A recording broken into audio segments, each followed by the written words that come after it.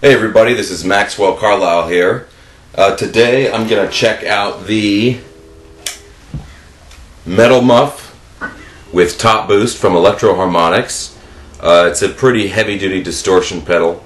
Got a lot of different EQ settings and so forth on it.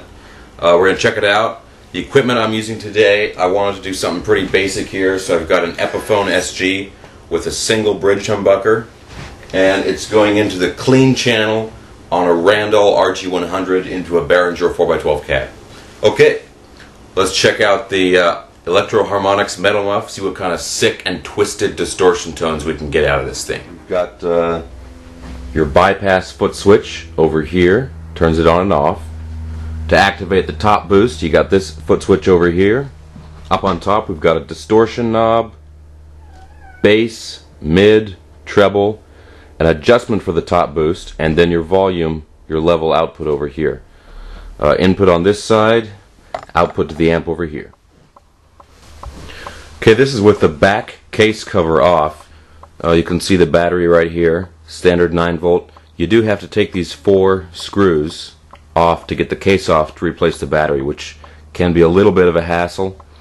But the, the case is uh, is all metal, including the backing, so it's it's pretty durable. Okay, I've got this thing plugged in now. Uh, first, let's take a listen to the clean tone I've got in the amp. It's uh,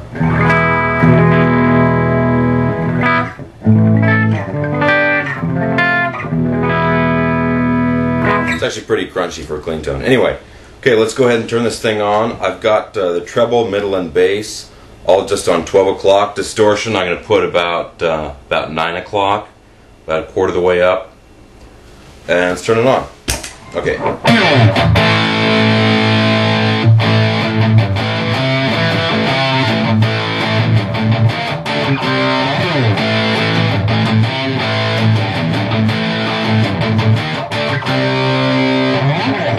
Okay, so that's that's only a quarter of the way on the distortion, and again the EQs are all just right in the middle. Uh, you know that's already quite a bit of a crunch there.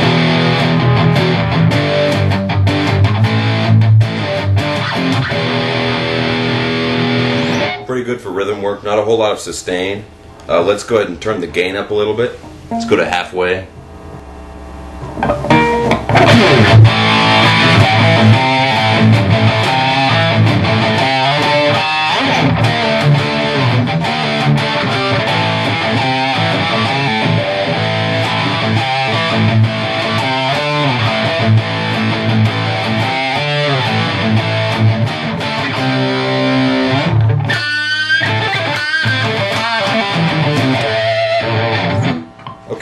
Check out uh, some of the EQ settings now.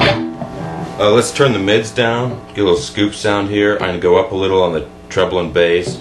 So the treble and bass are about uh, about 1.30, 2 o'clock. Mid I've turned down to about 10. Okay. Yeah.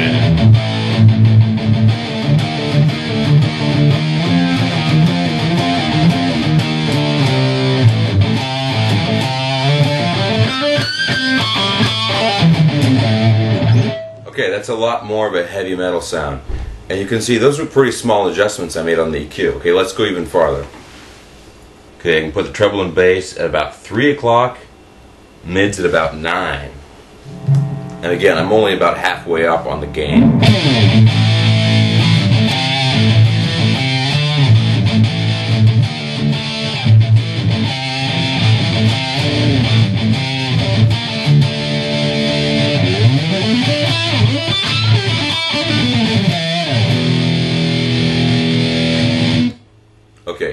One thing I really like about this pedal is you can get a lot of different sounds by changing the EQ. They're very aggressive EQs. Okay, let's turn the gain up a little bit more and see how it sounds. Okay, I've leveled out the EQs again. Uh, gain is about 3 o'clock, about 75%.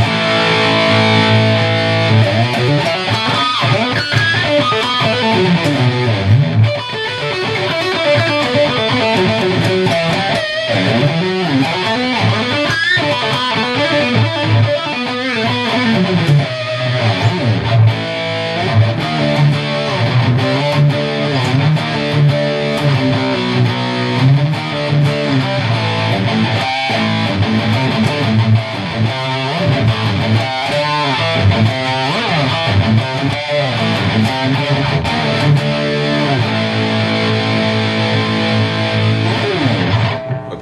Gain a little higher. Let's get a nice scoop sound.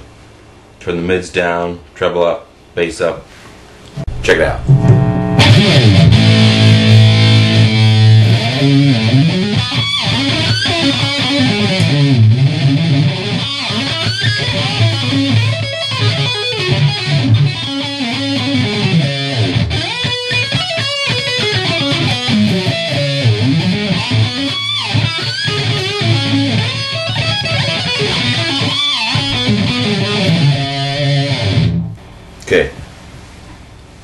Okay, let's crank the gain all the way up.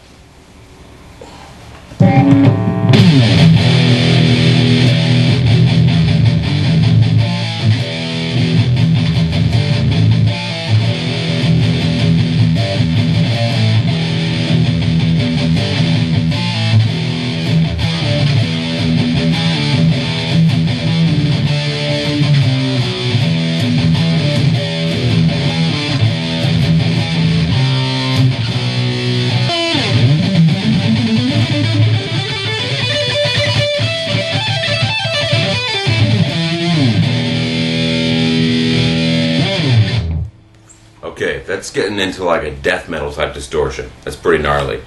Okay, uh, let's turn the gain down just a little bit, about 3 o'clock. Let's go the other way. Let's crank the mids up, maybe take the bass out a little bit. So treble and bass are at noon, mids are at 3.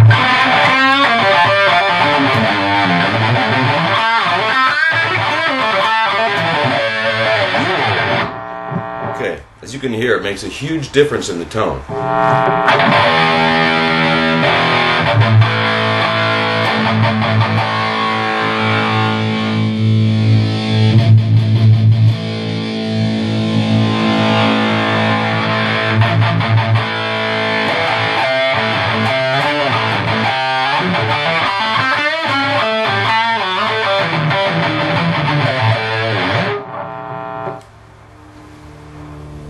Okay, so that was just by changing the mids.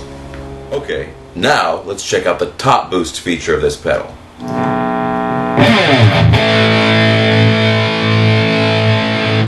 Put my EQs back to about 12 o'clock, gains at about 3 o'clock. Now let's turn on the top boost.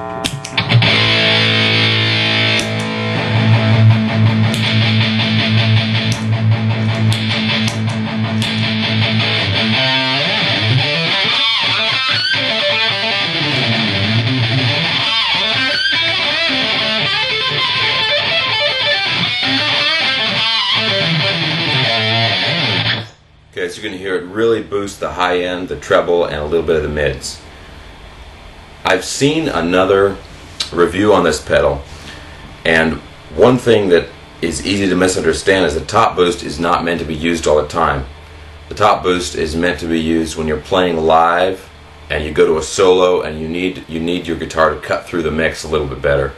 That's really what it's used for. If you use it all the time, I personally I think it would make you know your guitar sound kind of tinny and, and a little too harsh to use all the time.